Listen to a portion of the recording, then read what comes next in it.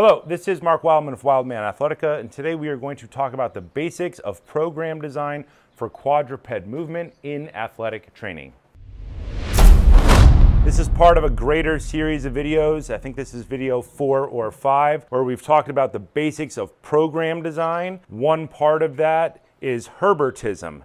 10 points as laid out by George Herbert in the 1800s, early 1900s that have been super influential in almost every form of training you see on the planet, gymnastics, military training, obstacle coursing. This is the basic series of ideas that are the foundation of all of that. We have a previous video where we talk about program design for walking. We have a video where we talk about program design for running. Today we are going to talk about quadruped movement or moving on the hands and feet or hands and knees. And then the other seven ideas that we'll need to talk about in future videos are climbing, jumping, balancing, lifting, or carrying, where the majority of fitness in the modern world lay in gym training, throwing patterns, where the majority of sport is, defense, and swimming. So quadruped movement is moving on all fours, and that could be the hands and the knees, it could be the hands and the feet. In the modern world, if you go to a big box gym and you have a National Academy of Sports Medicine trainer, the warm ups will probably have hand and knee movement in it.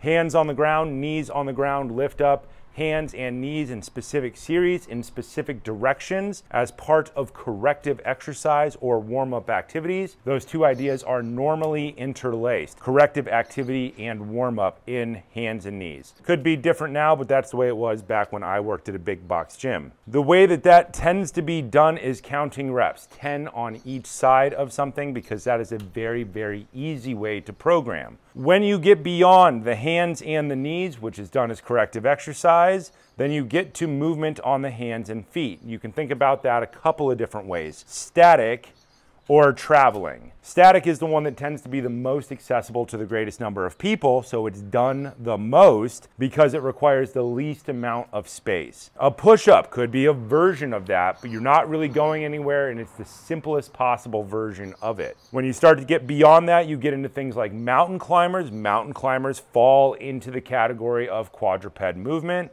but they fall into a different category of quadruped movement. Think about them in the category of what we would think of as calisthenics. Calisthenics are simple movements, intentionally simple movements, so they take a minimum amount of time to learn so that you can grade people in big groups on who can do the simplest movements the best in the least amount of time. Think about calisthenics, getting down on the ground, hands and feet, burpees, push ups, mountain climbers as being intentionally simple so that they require the least amount of instruction to have the greatest number of people get benefit from them in the least amount of time. When we get beyond the idea of calisthenics or keeping it as simple as possible, then you get into that idea of body flow activities or gymnastics based activities where we start to ramp the complexity up. You can still ramp the complexity up and keep it in a static space. This is where I tend to lie in my training ideas because calisthenics are covered very well by other people and flow stuff, the stuff after this, is covered very well by other people. In order to accomplish quadruped designed movement in a small space, then we would probably go into our time under tension protocol where you will perform a specific series of activities in a set amount of time, say 30 seconds of work, 30 seconds of break. You break down advanced movements into small, digestible chunks, and then you practice them. Then you track your time so that you can figure out if you're getting better. When you get beyond static space, then you have hands and feet, and you start to travel.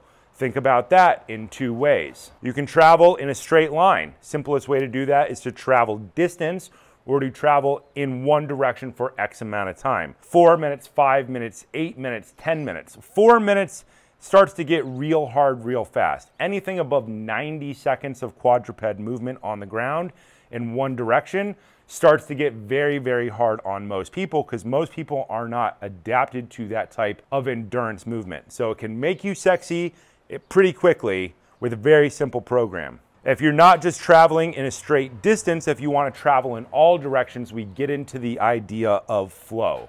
And that can be broken down into a bunch of different ideas.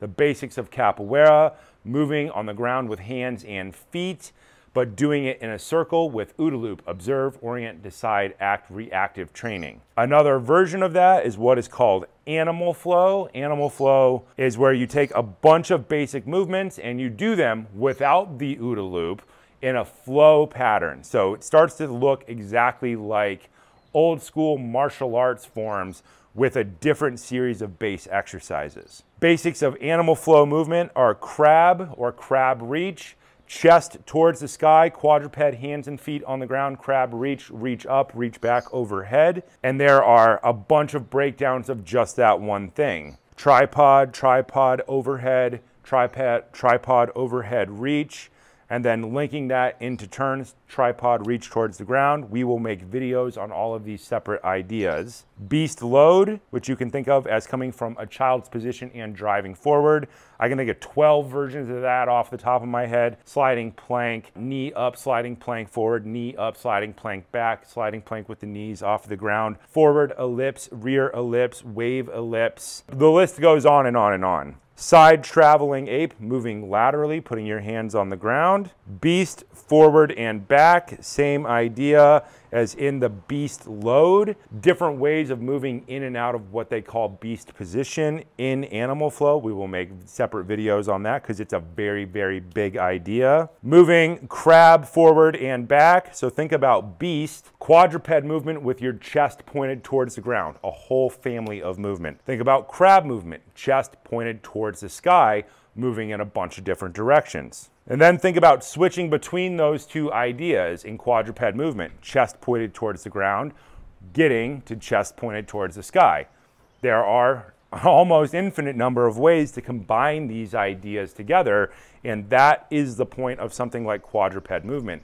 It is a basic human skill that fires absolutely every muscle in your body and you can never reach the end of it because you can always combine basic movements in different ways in different directions for different amounts of time. A side kick through family, if you follow any of my other programs, I love the side kick through family. That would be sit through hip, sit through leg, sit through leg, push up, sit through leg, push up into dancer's extension, and front step. I call this an outside lunge. These movements are fairly common in every type of advanced quadruped movement system, but they get renamed based on what organization is teaching them. All of these ideas exist specifically in martial arts, like wrestling. So if you take quadruped movement and you put it in the context of defense, then you will recreate all of these movements on accident, but they will evolve